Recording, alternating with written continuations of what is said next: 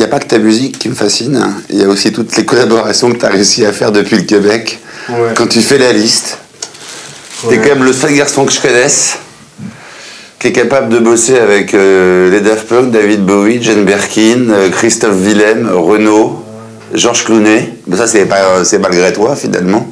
Ouais. Patrice Lecomte pour le cinéma. Ouais. Charles Aznavour qui m'a viré après deux semaines. Ouais. ouais. Pourquoi t'as viré Charles Aznavour? Je sais pas, il faut lui demander. Je, je crois que peut-être c'est- il était intimidé par le fait que j'étais plus grand que lui. Et à chaque fois qu'il me parlait, il se sentait euh, que le rapport de force tournait dans mon faveur. Je, je sais pas. Euh, C'est à cause de tes poils au torse, à mon avis. moi, j'aimais bien bosser avec lui parce que lui, je crois qu'il voit la musique comme un concours aussi. Il voit la musique comme quelque chose à gagner. Et je crois que toute sa carrière s'est basée sur, euh, sur faire une preuve. euh,